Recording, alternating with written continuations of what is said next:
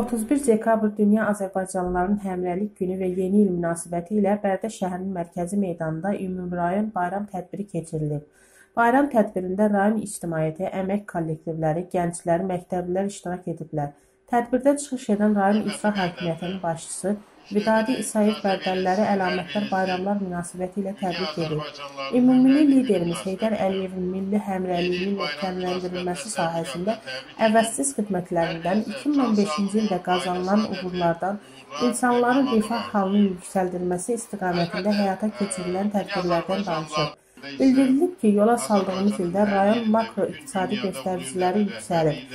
Kənd təsərrüfatı nəzərə çarpacaq dərəcədə inkişaf edib. Sosial tərəqqiyə nail olunub. Daha sonra tədbir bayram şənliyi ilə davam edib. Bir neçə saat davam edən bayram şənliyində Şaxta baba və Qarqız tədbir iştirakçılarına yeni il arzularını çatdırıb və uşaqlarla birlikdə rəqs ediblər.